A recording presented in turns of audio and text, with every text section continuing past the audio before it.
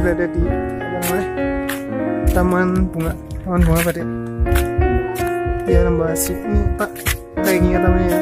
Uh, semacam. Bunganya nggak jelas nggak ada. Dan gimana ya ke sini kayak semacam gimana ya kurang greget aja gitu ya. Nah, masuknya berapa tadi? lima ribu lima ribu per orang.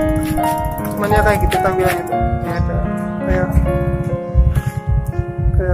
tiang-tiang gitu. Terus ada gazebo gazebo tuh. kayak itu kayak gini sih hati-hati. Lumayan. Iya